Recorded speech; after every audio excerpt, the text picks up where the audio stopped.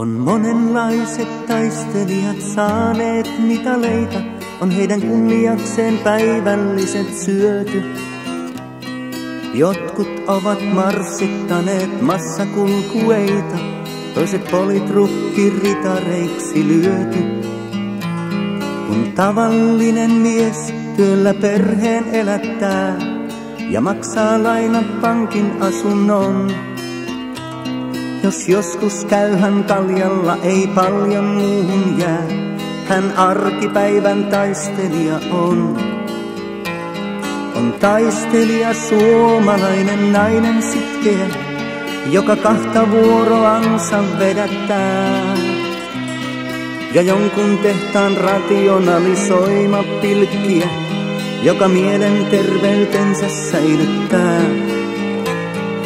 Taistelija ihan tavallinen mies, ei ässä, vaan korttipakan hantti.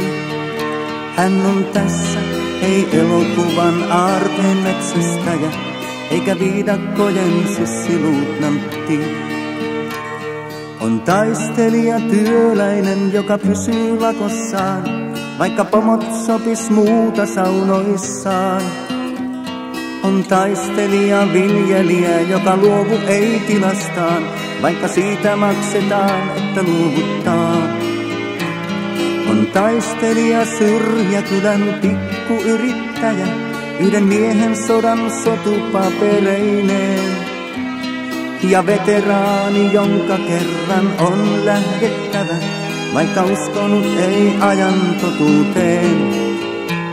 On taistelija ihan tavallinen mies, ei ässä, vaan korttipakan hantti. Hän on tässä, ei elokuvan aarteen metsästäjä, eikä viidakkojen sissiluutnantti.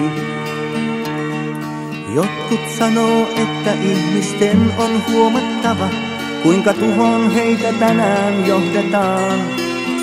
Mutta jalat maassa mies on huono opetettava. Hän kiinni pitää arjen onnestaan. herrat leikkii vielä omin talvisodin, kun isot hamuaa jo lopullista kahvaa. Mutta säteily kun saavuttaa tavallisen miehen kodin, on aivan sama, onko jalkaväki vahvaa.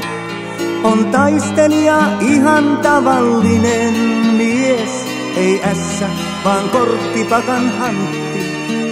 Hän on tässä, ei elokuvan aarteen metsästäjä, eikä viidakkojen sissiluutnantti.